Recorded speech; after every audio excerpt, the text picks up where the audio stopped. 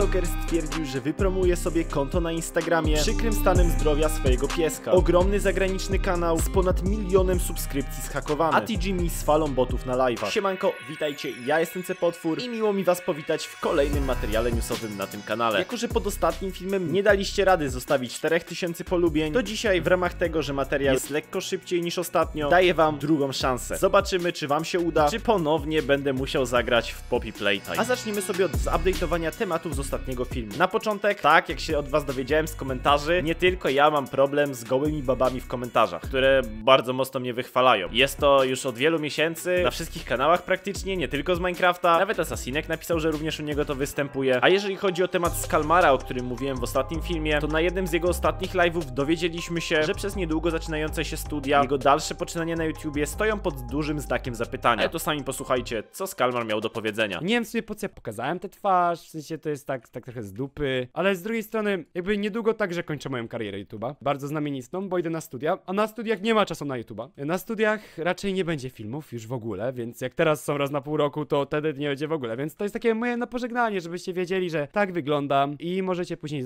postawić ten stawić znicz. Także jak sami słyszeliście, już teraz filmy u niego mieliśmy dosyć rzadko, a najprawdopodobniej ta częstotliwość jeszcze bardziej zmaleje, tudzież w ogóle spadnie do zera. Szkoda, natomiast bardzo mocno tak czy siak go rozumiem. I trzymam kciuki, żeby wyszło mu na studia. Okej, okay, skoro tematy z ostatniego filmu mamy już z głowy, to warto zacząć od powolnej ekspansji i powrotu wersji 1.8 do łask w sferze minecraftowej. I teraz powiecie mi, ale co potwór, o czym ty w ogóle gadasz? Słuchajcie, jakiś czas temu dodałem wam shortsa, gdzie pokazałem, że pojawiła się teoria o rzekomym powrocie craft Hardcora, czyli legendarnego serwera Hardcore, prowadzonego przez m.in. Inwicjusza, a teraz otrzymaliśmy informację o oficjalnym powrocie innego legendarnego serwera, jakim jest Arivi. Starzy wyjadacze na pewno będą wiedzieli o co chodzi. Jak sami widzicie, coraz więcej znanych i bardzo mocnych projektów z wersji 1.8 ponownie ogłasza swoje edycje. Co za tym idzie, wydaje mi się, że ludzie mają troszkę przesyt tych nowszych wersji i tęsknią za ciągłą klepą i klasycznym wydaniem 1.8. Dajcie znać jak to jest w waszym przypadku, bo ja w sumie sam nawet widzę po sobie, że na swoim trzecim kanale zacząłem znowu grać w Bed Wars. Także może coś w tym jest. A jak mówimy już o gierkach, to warto wspomnieć o tym, że mniejszy polski gracz minecraftowy nagrał odcinek z Dr. Donatem. I słuchajcie, jest to o tyle niesamowite, że Dr. Donat to jest youtuber, który ma ponad 700 tysięcy subskrypcji. I naprawdę myślę, że większości graczy nowszych wersji Minecrafta jest naprawdę dobrze znany. Czy to z kontentu SMP, tudzież właśnie ze sfery PvP, a mianowicie tego specyficznego Crystal PvP. Dokładnie tego dotyczył film Ksajkawa, który to stoczył z tym twórcą potężny pojedynek. I naprawdę jest to dla mnie mnie niesamowite, że pomimo tak dużej rozpoznawalności, Dr. Donut zdecydował się na nagranie takiego materiału, który finalnie wyszedł naprawdę bardzo ciekawie. Dlatego polecam wam zerknąć. I niezmiernie cieszy mnie, że mogę was informować o tego typu materiałach. To, że youtuber Kozakus skończył z kontentem newsowym, przerzucił się na kontent GTA, myślę, że każdy z was dobrze wie. Natomiast ostatnio na swoim Instagramie odpowiadał on na pytania i między innymi zdecydował się odpowiedzieć właśnie na jedno pytanie dotyczące tego tematu. Ktoś zapytał się go, czemu odszedł od newsów, na co on odpowiedział. Przestały mnie interesować, lecz nie niebawem pojawi się na tym kanale, chodzi oczywiście o Kozakusa, coś fajnego, głównie z Minecrafta. Zaciekawiony tą odpowiedzią stwierdziłem, że dopytam. Jak się okazuje, chodzi o materiały minecraftowe z CraftCube'a, czyli serwera Zęciaka, przy którym niegdyś również Kozakus się udzielał. Z tego co zrozumiałem, najprawdopodobniej chcę do tego wrócić. Jest to taka szybka informacja, jako że kiedyś robił podobny content co ja. Myślę, że część osób z was również go oglądała. Warto, żebyście wiedzieli. Wiedzieć również powinniście o tym, kto ile subskrypcji wbił w ostatnich dniach. A okrągłą liczbą może pochwalić się Wade, czyli twórca nagrywający obecnie na kanale Nunu, czyli kanale typowo dziecięcym. Oczywiście z filmami, które są brane z zagranicy, natomiast wbił on 100 tysięcy subów. Jednakże nie będę się tutaj teraz stricte skupiał na jakości jego treści, tudzież tym, czy się inspiruje, czy kopiuje z zagranicy, ponieważ mam dla was ciekawą informację. Jeżeli mielibyście możliwość zadać jedno pytanie do Nunu, to jak ono by brzmiało? Napiszcie je proszę pod postem na karcie społeczności, który pojawił się wraz z publikacją tego filmu, bo zamierzam przeprowadzić z Nunu wywiad, tudzież wejść w dyskusję odnośnie sensu tego kontentu minecraftowego, jak i treści, jakie publikuję. A jednak chciałbym, żeby wasze wątpliwości były również tam zawarte. Jak już mówiłem, że Nunu wbił 100 koła, to warto wspomnieć o tym, że Moxwam, czyli naprawdę cholernie popularny zagraniczny minecraftowy twórca, wbił równie okrągłą liczbę, ale o wiele, wiele większą, czyli 2 miliony. A jeżeli dalej nie wiecie, kim jest ten twórca, to możecie go kojarzyć między innymi z filmu, gdzie przeżył 100 dni tylko na dircie, grał na trybie Superflat, tudzież zebrał wszystkie bloki w 24 godziny w Minecrafcie i z wielu więcej naprawdę zasięgowych produkcji. Dobra, było miło miło i przyjemnie. Teraz pora przejść do tych mniej przyjemnych informacji. Pierwsza z nich to update w uniwersum Krzysimira, a mianowicie nowa piosenka, już w tym momencie niemiłosna, a piosenka dotycząca zdrady. Jak pobieżnie zdążyłem się zorientować, Tysia zdradziła Krzysia. Ja wiem jak to brzmi, również jestem w mocnym szoku, ponieważ co w tak idealnej relacji mogło pójść nie tak? Młody, charyzmatyczny youtuber, administratorka jego ulubionego serwera. Czy to może nie wyjść? Jak się dowiedzieliśmy, wszystko wskazuje na to, że tak. A Krzysztof na swój drugi kanał dodał kolejny utwór muzyczny zatytułowany Dis na chłopaka It's Tysi Official Music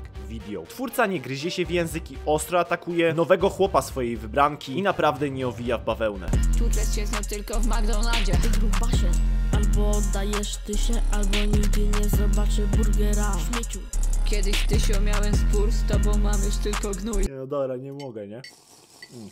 Jeżeli ktokolwiek weźmie to na poważnie, to ja nie wiem. Tobie jak widzicie w tytule, wczoraj nagrałem odcinek z It's Tysią, nie?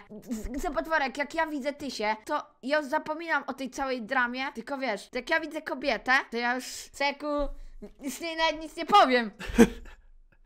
Nie mogę, nie, nie wytrzymam po prostu. Czemu ja wchodziłem w to uniwersum? Może jeszcze nie jest za późno, żeby z niego wyjść? Teraz przejdziemy do tematu botów, które pojawiły się na live Tijimiego. Ostatnio Tijimi jak gdyby nigdy nic odpalił swojego live'a, aż tu nagle z nienacka na jego transmisji pojawiło się 18 tysięcy osób. I teraz zastanawiacie się, co potwór? Ale to przecież normalne, ma tyle subskrypcji. Może nagle YouTube zaczął pozycjonować jego kanał jakoś wyżej? No nie. Ogólnie wszystko polegało na tym, że ktoś kupił boty na jego transmisję na żywo i tak naprawdę myślę, że nie ma tutaj nic więcej do dodania niż po prostu pokazanie wam reakcji samego twórcy na to zjawisko. O, boty! Błagam, tylko nie zepsuj mi algorytmu YouTube'a. Tylko 10 tysięcy osób na live? Przy takiej gównianej aktywności to ja kończę tego live'a. tego przeprowadzania ich. Jak ja kocham te boty.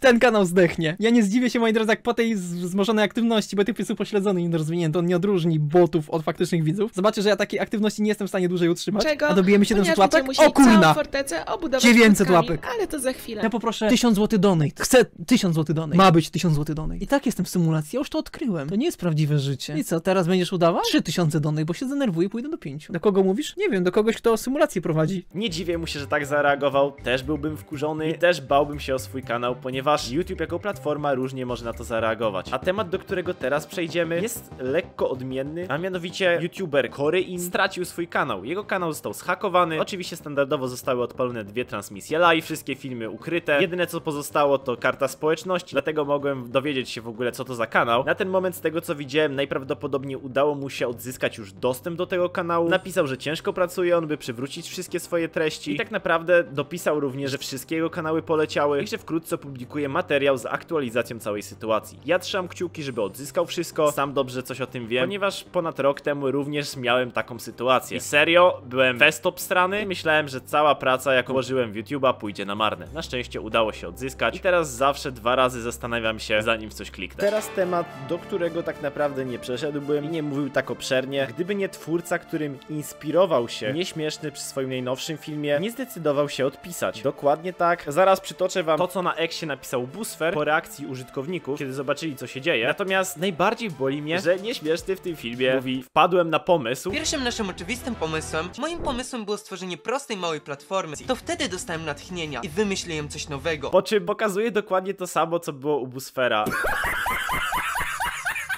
Wymyśliłem coś nowego. Natomiast ciśnięcie tego chłopaczka kolejny raz nie ma totalnie moim zdaniem sensu, bo już tyle materiałów nagrałem, więc każdy inteligentny człowiek wyciągnąłby jakiekolwiek wnioski. Dlatego przejdźmy już do tego wpisu na Exie. Jeden użytkownik o niku Spook napisał, że bez oznaczenia inspiracji ktoś skopiował jego odcinek, na co Busfer odpowiedział. Szczerze mówiąc nawet nie jestem wkurzony, ten film jest wysokiej jakości, jestem zaszczycony, że uznali moją treść za na tyle dobrą, że można ją skopiować. Poza tym nadal nie jest to w porządku, ale przynajmniej nie kopiowali mojej klatki wideo po klatce, jak inne kanały. I ogólnie po części rozumiem podejście tego twórcy, jednakże aż strach pomyśleć, z czym tak naprawdę na co dzień musi się borykać. Jeżeli film nieśmiesznego jest w stanie już w tym momencie normalnie zaakceptować, jak możemy wywnioskować z tego wpisu, zdarzają się sytuacje, gdzie ktoś kradnie jego treści klatka w klatkę. Jako ciekawostkę dodam, że inny kanał z animacjami ponownie wbił szpilkę nieśmiesznemu. Ale to tylko tak jak mówię w ramach ciekawostki.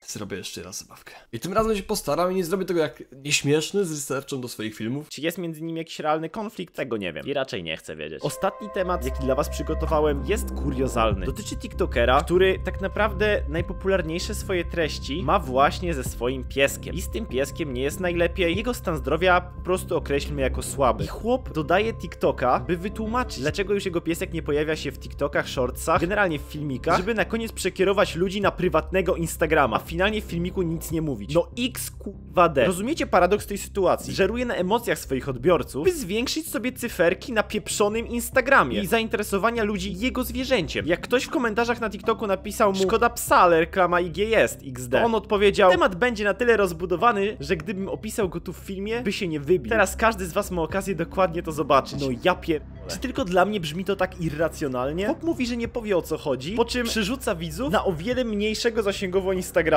Przecież to jest tak ohydne. Ja pierdzielę. Serio, naprawdę, kiedy usłyszałem o tym temacie, wiedziałem, że pojawi się w newsach tylko po to, by powiedzieć wam, żebyście uważali na takich pseudotwórców i trzymali się od takich kanałów z daleka. Jak dotrwałeś do tego momentu, napisz w komentarzu hashtag żenada, a przypnę ci serduszko. I standardowo na koniec segment podwaleń, czyli kto co podwalił w ostatnich dniach. Tutaj było dosyć ciekawie, ponieważ od ogryska podwalił Andrzejek. Hej! Ja teraz kopię diamenty. Niby czemu? A temu, że mam 2000 rankingu. Hej, spadaj stąd, ja teraz kopię diamenty. Niby czemu? A temu, że mam 2000 rankingu na box PvP. Ze środowiska nie minecraftowego pojawiła się jeszcze tutaj taka sytuacja. This guy is a medically retired police officer. He was shot in a line of duty just eight months after finishing the police academy. Ten facet jest aktualnie zwolniony ze służby policyjnej po postrzale w trakcie interwencji. Chłopak pracował zaledwie 8 miesięcy po ukończeniu policyjnej akademii. I parę innych pomniejszych. Natomiast dalej jakoś sporo się nie działo. Może przez to, że twórcy wrzucają mniej treści, albo wreszcie zaczęli myśleć co robią, tego nie wiem.